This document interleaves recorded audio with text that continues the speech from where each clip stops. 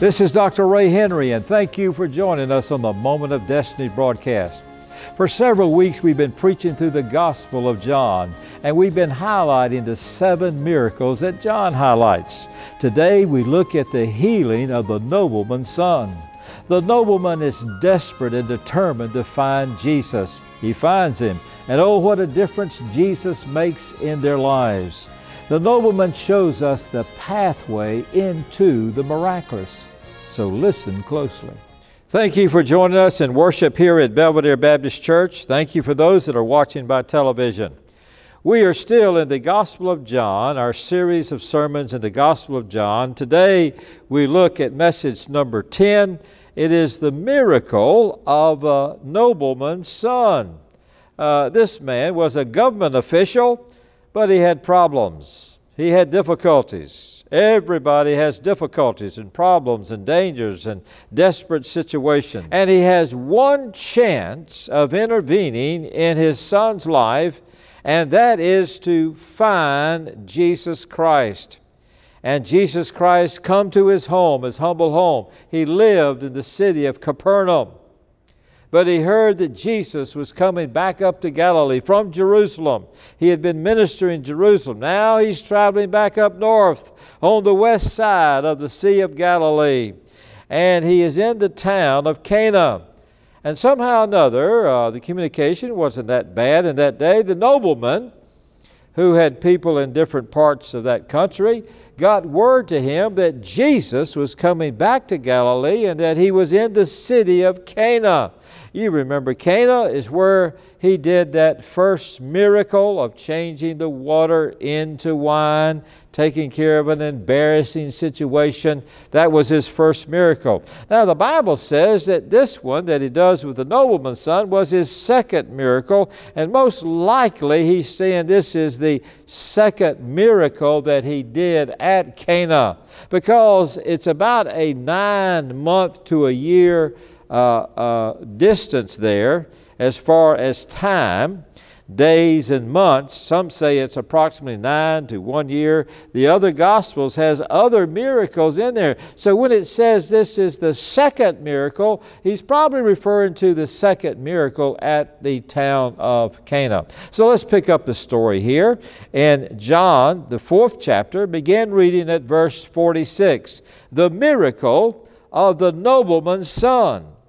And we'll talk about why God does miracles. Once more, he visited Cana in Galilee. It's on the west side of the Sea of Galilee. Once more, he visited Cana in Galilee, where he had turned the water into wine. And there was a certain royal official whose son lay dying. He was sick at Capernaum. When this man heard that Jesus had arrived in Galilee from Judea, he went to him and he begged him to come and heal his son because he was close to death. Unless you see the miracle, unless the, you people see miracles, Jesus said to the man, signs and wonders, you will never believe. All you want to see is a miracle, Jesus is saying. The royal official said, Sir, come down at once before the child dies. Jesus replied, You may go, your son will live. The man took Jesus at his word and departed. And while he was still on the way, his servant met him with the news that his son was living. When he inquired as to what time he got better, uh, they said to him, The fever left him yesterday about the seventh hour, 7 p.m. at night. Then the father realized that this was the exact time which Jesus said to him, Your son will live. So he and all of his household believed. This was the second miracle, miraculous sign, that Jesus performed, having come from Jerusalem, Judea area, back up, which would be back down. In some ways, you go down from Jerusalem, down the hills, but you go back up north to Sea of Galilee and to the city of Cana, probably the second miracle at Cana. Why in the world do we even have miracles? Especially these uh, messianic miracles, many call these messianic miracles that Jesus performed. Why do we have miracles? Number one, Miracles show His deity, Christ's deity. They authenticate that He is God in the flesh, that He is the Christ, the Messiah. The Messiah would come and not only would he do miracles, just regular, ordinary, normal miracles, but he would do what is called messianic miracles. Miracles that nobody else could perform. Raising at least three dead people from death. Healing a man that had been crippled for 38 years healing a man that had been blind from birth. And you could go on and on and on. These were super, supernatural miracles. They were called messianic miracles. They authenticated that Jesus and Jesus alone was the Messiah. Now, if you're looking forward to the Messiah, some faiths are still looking for the Messiah to come. Well, he will have to duplicate the miracles of Jesus. If you're still looking for the Messiah, he, that person you're looking for, will have to duplicate these messianic miracles.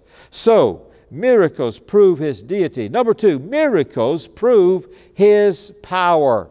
When one experiences a miracle of God, it shows people that God is real and God's alive and He's the Savior. A friend of mine named Blitz. Blitz worked for three presidents in Washington, D.C. He worked for the CIA. He was not religious at all, but his wife was, and, and she was involved in many home groups where they studied the Bible and they prayed, but not Blitz. He wasn't interested in that. Uh, he was interested in civil service, and he was a great civil servant, and he, he was a great servant to three of the major presidents.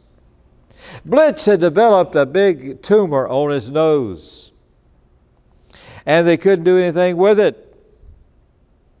And uh, one night, when the wife came in from Bible study, evidently there were some of the other students there, the other members of her Bible study, and they asked her husband, Blitz, Blitz, uh, can we pray for that tumor on your nose? And and uh, he said, Okay, what have I got to lose?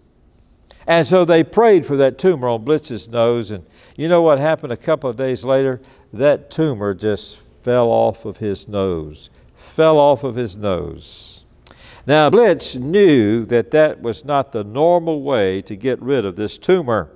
He was facing surgery and, and probably maybe some chemo if it was cancer, so forth and so on. But here, after they prayed, just a few days after they prayed, uh, Blitz says that tumor fell off. He began to seek the Lord, and he found the Lord, and he became a very dedicated Christian. He retired here in Palm Beach, and he got working for the sheriff department, helping with uh, how to how to overcome the gang problem here in Palm Beach County. He worked with the sheriff and uh, overcame some of the problems that we were facing in our communities with the gang problems. Uh, Blitz saw that Jesus was the Christ. So miracles prove his deity, miracles prove his power, miracle proves his compassion that he loves us. He loves us. My son, when he was in college, developed something that was a rare disease called the Kleine-Levison syndrome that shut him down for a whole week once a year. They didn't know where it came from or where it went. But he had a lot of people praying for him. And he had some good doctors. And all of a sudden, after a couple of years, that Kleine-Levison syndrome disappeared, just disappeared as quickly as it came. It showed my son God's love and God's compassion towards him. So today, we see the miracle of the nobleman's son. Here was a high ranking Roman official he worked for either the king or he worked for the governor. We're not sure exactly. It doesn't say exactly who he worked for in the government, but he, he was a nobleman that worked for one of the official people uh, in that day. Now, his home was in Capernaum, and that's where his son was living, and his son was on his deathbed, and his dad was right there with him, and his only hope was Jesus Christ and he heard that Jesus Christ was coming back to Galilee. That was his home. As a matter of fact, if you go to Israel today, there's a big sign that says Capernaum. Capernaum. the hometown of Jesus Christ. And so Jesus came back to Cana, and before he could get to Capernaum, he stayed at Cana, where the first miracle occurred. Well, the nobleman heard that Jesus was at Cana.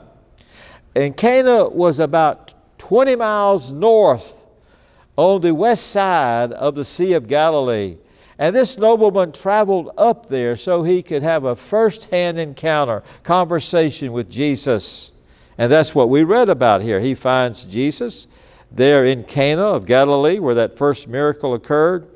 And he says, Please, sir, please. He begged him, he entreated him to come to his hometown of Capernaum, just 20 miles away, and touch his son and pray for his son and heal his son.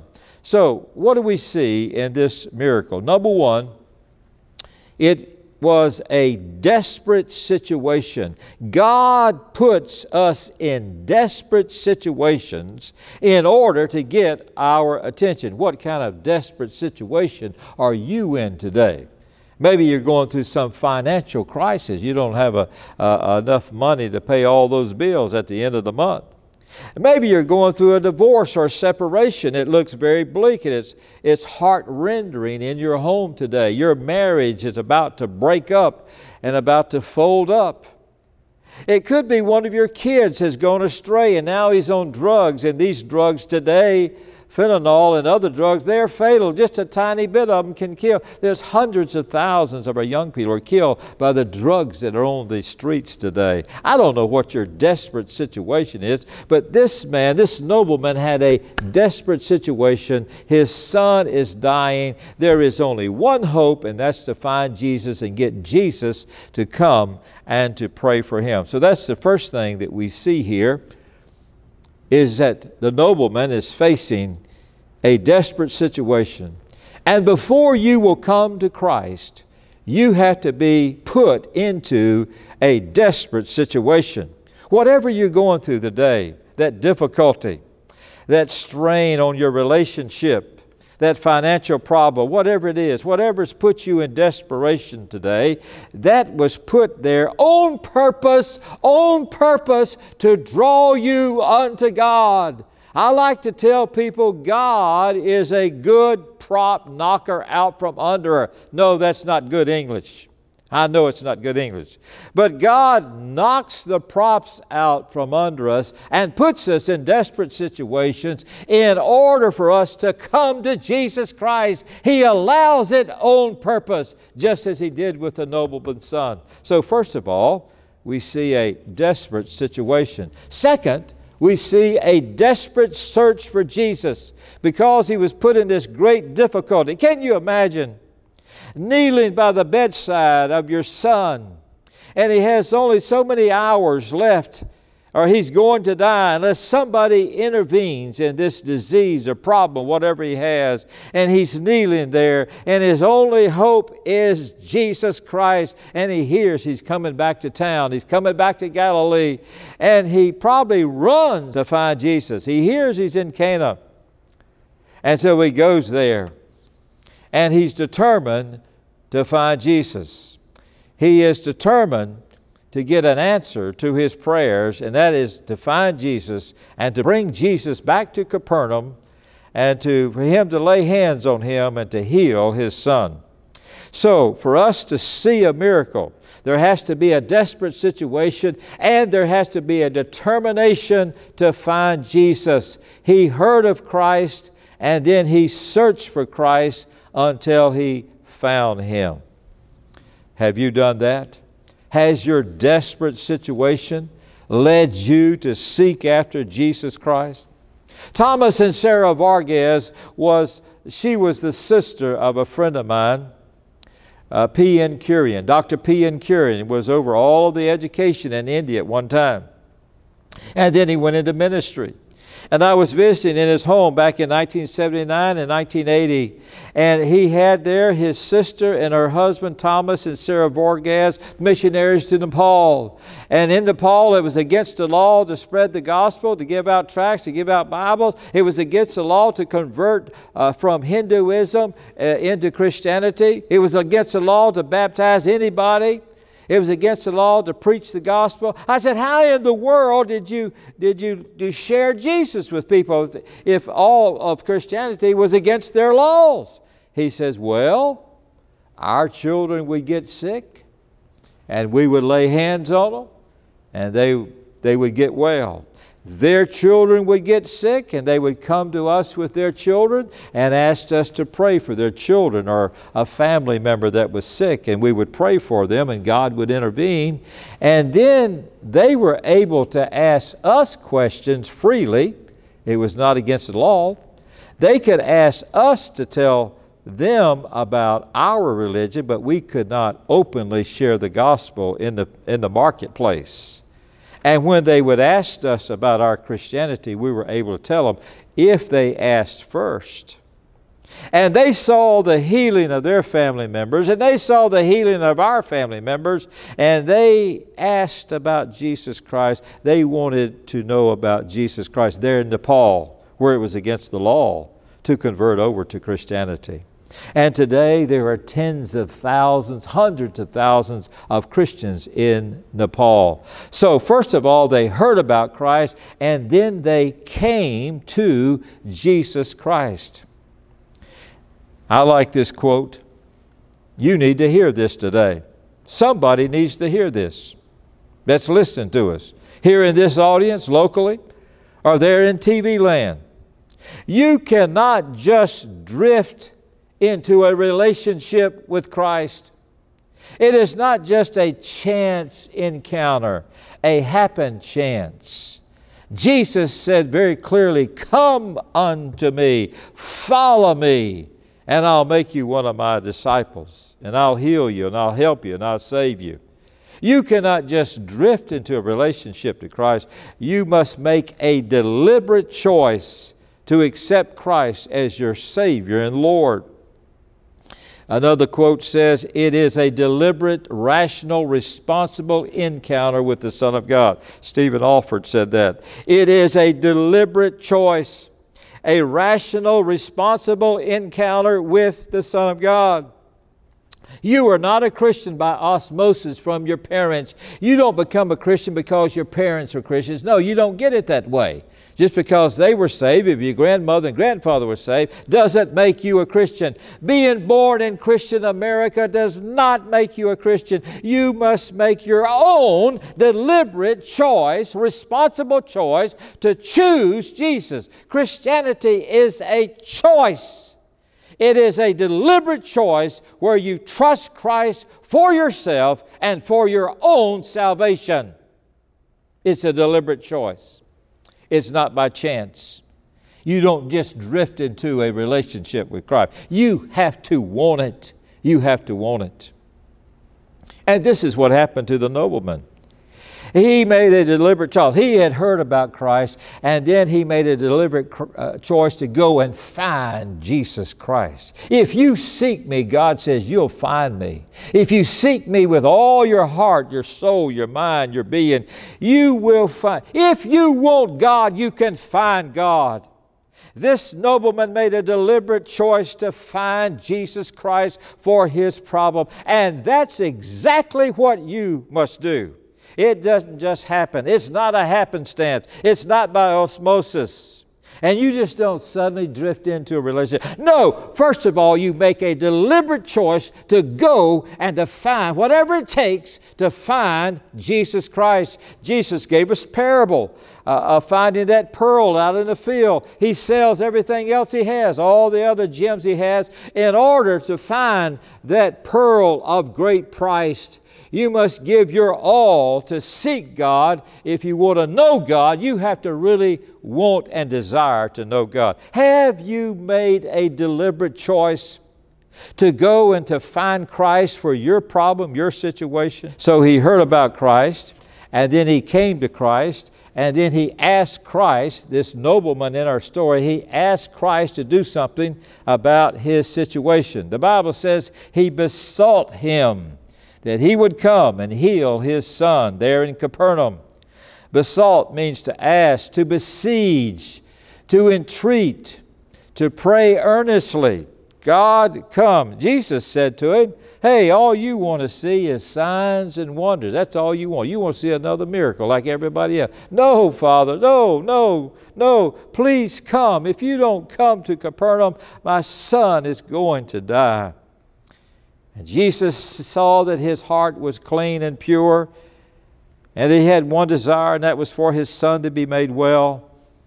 And he said to the man, Go, your son is well your son is healed. You can leave now. Now, this nobleman thought that Jesus was going to follow him back from Cana 20 miles north to Capernaum on the top part of the Sea of Galilee. But no, Jesus says, He spoke the word of faith and says, Your son is healed. You can leave now. You can go.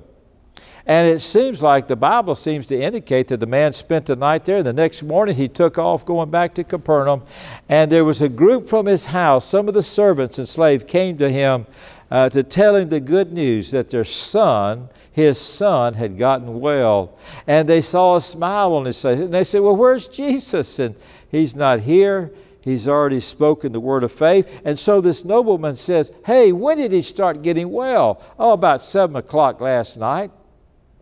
And the nobleman said, That's the very time that Jesus whispered in my ear, Your son's going to live, your son's going to be okay. You can leave now, you can go back home to Capernaum. And Jesus spoke that word of faith, and that son was healed. So he asked Christ earnestly for Christ to do something in his life, and Jesus intervened. Mark the 11th chapter, verse 22.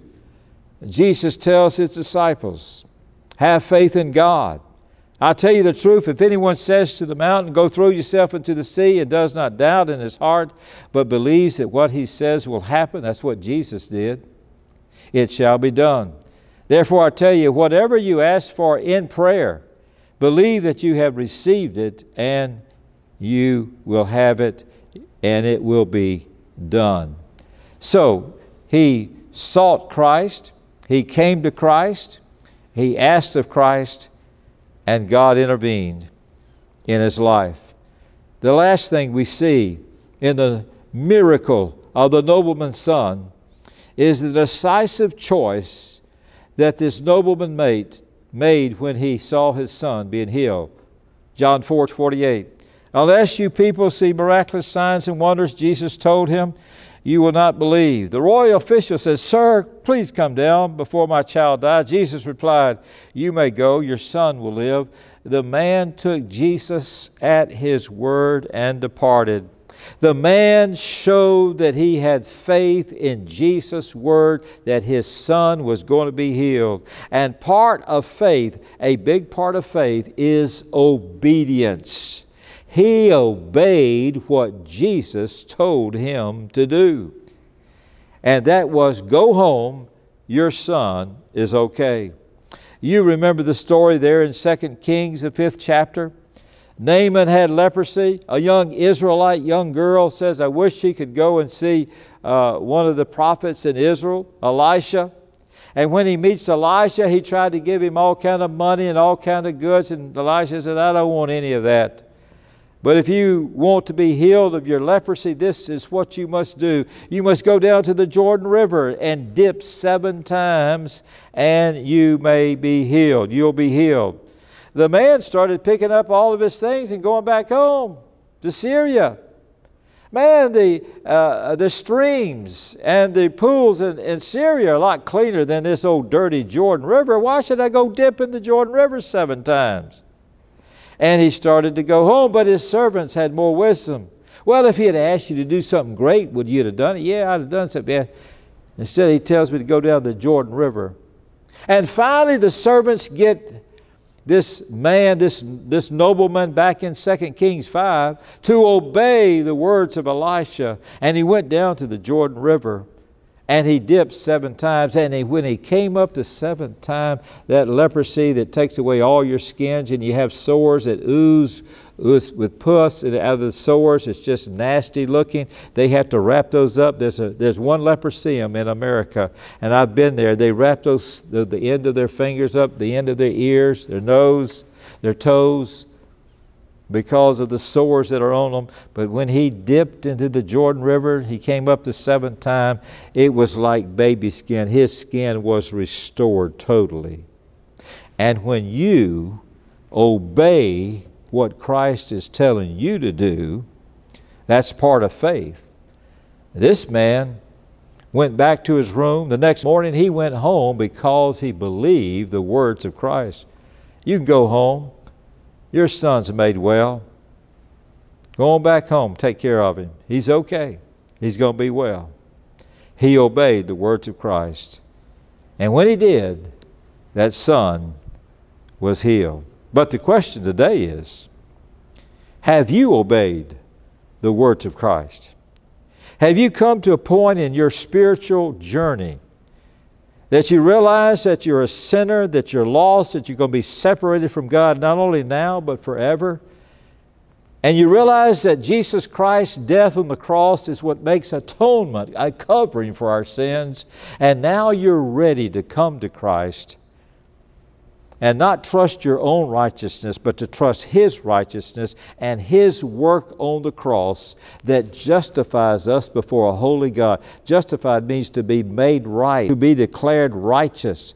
When you trust Christ as your Savior, immediately God declares you righteous. If if you truly trust Christ as your Savior in your heart and you outwardly indicate that, you confess Christ openly. He says, If you deny me before men, I will deny you in heaven. But if you confess me before men through believers' baptism, through identifying with Jesus Christ, he says, I will identify with you in heaven. I will declare to the world that you are my son. And uh, it'll be a glorious day when you face the judgment of God if you have truly obeyed Christ. Not only believe that Christ is the Savior, but you now have identified, you've trusted Him in your heart, and openly you have confessed Him as your Savior. Have you obeyed Christ? Have you done that? Have you done that? Now, if you said that you were not sure if you died today that you would go to heaven, I want you to pray this prayer with me. God wants you to be sure. Pray it right now. Dear God, I know you love me because you sent your only begotten Son. And I realize that He was perfect and He died for my sins. I take you, Jesus, to be my personal Savior. Forgive me of all my sins. Come into my heart and be my Lord and be my Savior from this day forward. And I want to thank you, God, for saving my soul. Now, if you prayed a prayer like that, we'd love to hear from you. There's a number that's on your screen. We want you to call that number. We have some material that we can send to you, a Bible that we can send to you free of charge. So call the number that's on the screen. Most of all, we'd love to see you in worship with us this Sunday at 11 a.m. May God bless you.